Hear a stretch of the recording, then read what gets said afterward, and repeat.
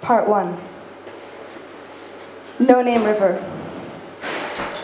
A bigger river holds more in it. This one holds the ended lives of others. Trees and plants and arms and legs. What else? I have given up looking now. A severed heart. Rio Magdalena cuts through the center of Antioquia, flowing north. There is a village on the river that collects the no names who float down it. Fishermen catch them in their nets. An old man went blind from carrying them in his wheelbarrow. In the village, they are baptized and given new names. Then they are mourned for. Part 2 The river next to La Union.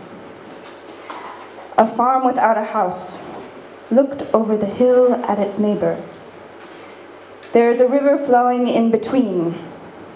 The space of this farm becomes thin as we get to know why there are so few people living here. Everyone lives together now. After the sound of the rain ended, I was woken up by three blasts. The first opened my eyes, the next two shook the night, and I am left breathing in the night. They say there hasn't been combat here for six months. He walks much faster than me. He would run up the mountain if I wasn't here. There was rain all night, so the jungle is full, and the day is young and hot. The village's water supply had stopped in the night. Moved sediment and debris gets caught at the source of the pipeline. Every time this happens, he goes up the mountain to fix it. We cannot leave it if it keeps raining. Rain every day means the river flows high and fast. We cannot cross it in the morning, so we wait until the sun dries it back down a little.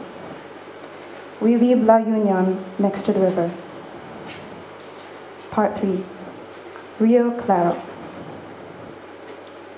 I saw the future world. It was empty and sad. Sad because it was lonely. Even the snakes and the fish had left. The people had been killed long before, and thus the land had been emptied right before it was turned out. The small hills filled with millions of valuable rocks.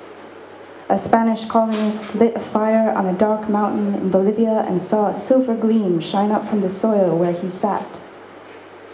A light came up from under the earth. Cerro Rico, the doom of the poor the doom of the dark mountain. We met a river there. It was filled with the emptiness of the land. Dust from the open earth made the water opaque, light catching the surface before the refraction stopped dead. We floated down the river, following the dust and other particles we couldn't see. Looking around, the dust was caked on the leaves of the trees on the blades of the grass. The forest was quiet as we drifted. But I missed the people, you see, the fish and even the snakes. I looked into the future of Urabá, and I didn't see you there.